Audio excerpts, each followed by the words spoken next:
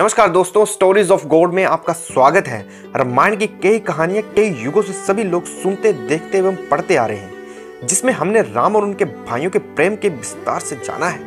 लेकिन हमने राम की बहन शांता के बारे में बहुत कम सुना है, या कहें कि सुना ही नहीं। आज हम आपको जब बताएँगे कि राम की बहन कौन थी और क्यों उनका उल्लेख नहीं है और किस कारण उनका त्याग किया गया। तो चलिए दोस्तों, शुरू करते हैं। महाराजा दशरथ एवं रानी कौशल्या अयोध्या के राजा रानी थे। महाराजा दशरथ की दो अन्य रानियाँ भी थी, जिनका नाम कैकेयी और सुमित्रा था। सभी जानते हैं कि उनके चार पुत्र थे, राम, भरत, लक्ष्मण, शत्रुघ्न।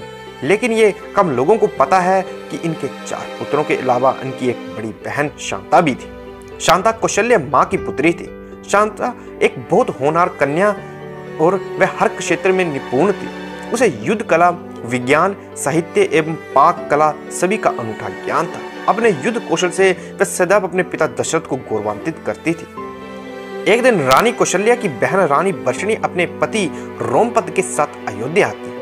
राजा रोमपद अंग देश के राजा थे। उनकी कोई संतान नहीं थी। एक समय जब सभी परिवारजन एक साथ बैठकर बात कर रहे थे, तब वर्षणी का ध्यान राजकुमारी शांता की तरफ़ पड़ा।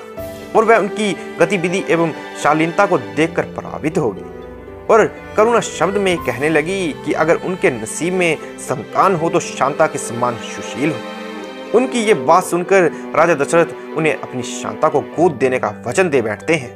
रघुकुल की रीत प्राण जाए पर वचन न जाए के अनुसार राजा दशरथ एवं माता कौशल्या को अपनी पुत्री अंग देश के राजा रोमपद एवं रानी वर्षणी को गोद देना पड़ता है। इस प्रकार शांता अंग देश की राजकुमारी बन जाती है।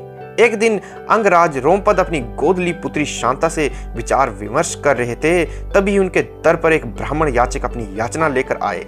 लेकिन रोमपद अपनी वार्ता में इतने व्यस्त थे कि उन्होंने ब्राह्मण की याचना सुनी ही नहीं। और ब्राह्मण को बिना कुछ लिए खाली हाथ जाना पड़ा। ये बात देवताओं के राजा इंद्र को बहुत बुरी लगी और उन्होंने वरुण देव के अंग देश में बारिश न करने का हुक्म दिया। वरुण देवता ने यही किया और उस वर्ष अंग देश में सूखा पड़ने से हाहाकार मच गया। इस समस्या से निजात पाने के लिए रोमपद ऋषि श्रृंगी के पास गए और उनसे वर्षा की समस्या कहते हैं।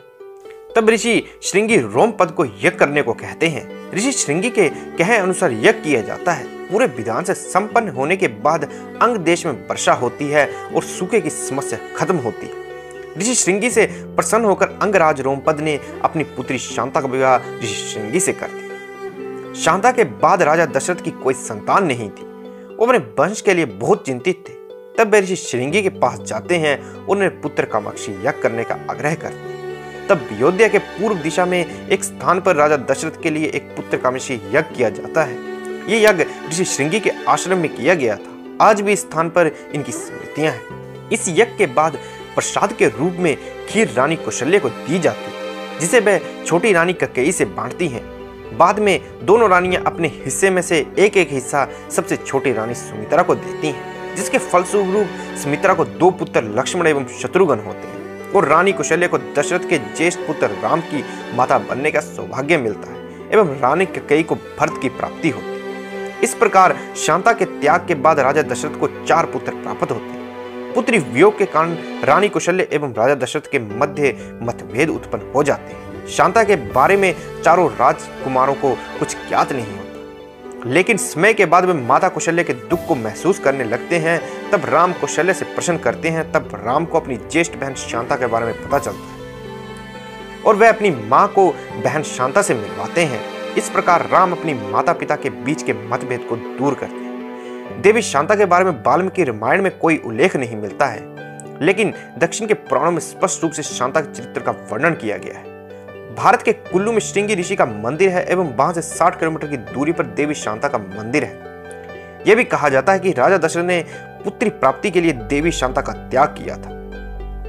वैसे तो देवी शांता एक परिपूर्ण राजकुमारी थी, लेकिन बेटे होने के कारण उनसे वंश की वृद्धि एवं राजा कार्य पूरा नहीं हो सकता इसलिए राजा दशरथ को उनका परित्याग करना पड़ा। इस प्रकार जब चारों भाई अपनी बहन शांता से मिलते हैं तो वे अपनी भाइयों से अपने त्याग का फल मांगती हैं और उन्हें सदैव साथ रहने का वचन लेती हैं। भाई अपने बहन के त्याग को व्यर्थ नहीं जाने देते हैं और जीवन भर एक दूसरे की परछाई बनकर रहते हैं। रामायण एक ऐसा ग्रंथ है, जिसमें सभी रिश्तों की गहराई, मर्यादा एवं सबसे अधिक वचन पालन का सबसे महत्व बताया है। इस प्रकार रामायण से जुड़ी कहानियों से हमें उचित मार्गदर्शन करती हैं। हमें रिश्तों की मर्यादा का वहन कराती हैं। ये कहानियाँ आज के समय में संस्कारों का महत्व बताती हैं एवं व्यक्तित्व विकास में सहायक होती हैं। आशा करता हूँ आपको हमारी वीडियो पसंद आई होगी। अगर पसंद आई है तो लाइक करें और शेयर करें। और दोस्तों, हमें कमेंट में बताएँ आपको ये कहानी कैसी लगी है। और चैनल को सब्सक्राइब कर नोटिफिकेशन बेल को ऑन कर लें ताकि हमारी आने वाली वीडियोस सबसे पहले देखने को मिल सके। धन्यवाद।